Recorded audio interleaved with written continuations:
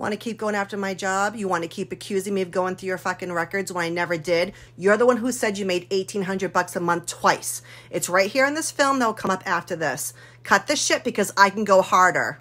I can go so much fucking harder on you. So cut this shit and leave me out of this. They said they make less than me. I make $1,800 a month on disability because I've been taken out of the fucking workforce. One of the smartest motherfuckers around here. Living in, I make 1800 bucks a month. My brother's girl will say I make 1800 bucks a month, which is true. I live in a place that costs 20, 2800 dollars a month.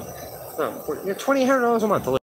1800 bucks a month is so much more than other people get. Seniors that have worked all their lives don't even get that much money. Rent is not 2000 anywhere. It's your own fault you put yourself in a hotel the last minute. Where was your section 8? Where was your housing then? You needed 10,000 bucks to save your house and put 20,000 bucks in your van? Everything you've said in your videos makes no sense. And I understand you're mental and you need help, but seriously, leave me the fuck out of it.